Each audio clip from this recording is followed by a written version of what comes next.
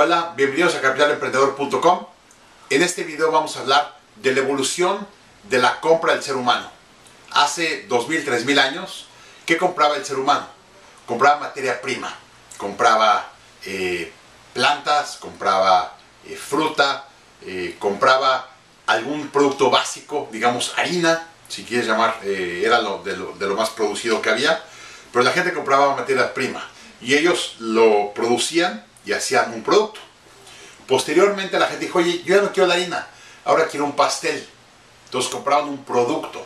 Usaba eh, esa persona, juntaba varias materias primas, las evolucionaba y hacía un pastel y eso ya era un producto. Entonces la gente empezó de comprar materias primas, digamos la, la base de todo, a empezar a comprar productos. Después la gente decía, oye, ya no quiero un producto, ahora quiero un servicio.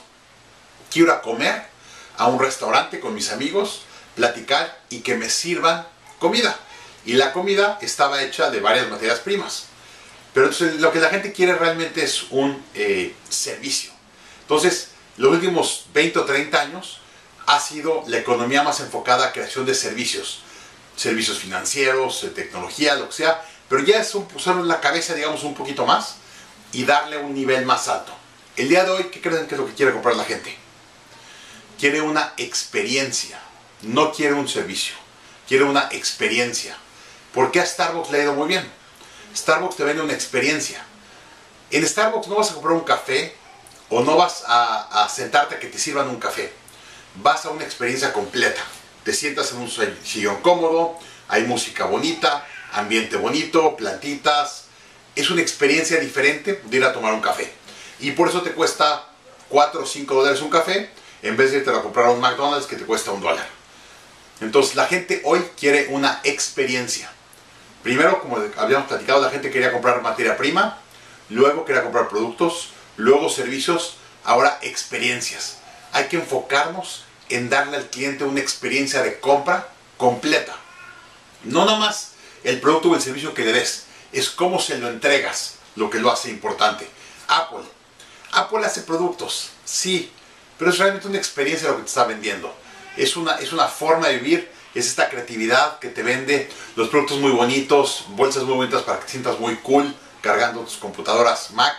Realmente ha llevado la computadora a una experiencia. Entonces piensa en tu negocio. ¿Cómo le puedes cambiar a tu negocio en venderle una experiencia a tu cliente? No nada más venderle un producto. Eh, últimamente con otro caso, arquitectos.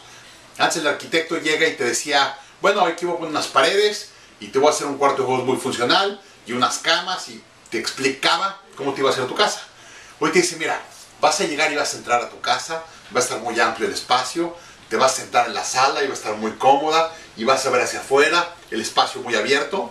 No te está vendiendo cómo va a ser tu casa, te está vendiendo lo que vas a sentir al sentarte en tu sala. Y es una experiencia. Entonces, cámbiale a tu cliente y véndele una experiencia. Si le puedes vender una experiencia, le vas a poder cobrar mucho más caro que vender un producto o un servicio.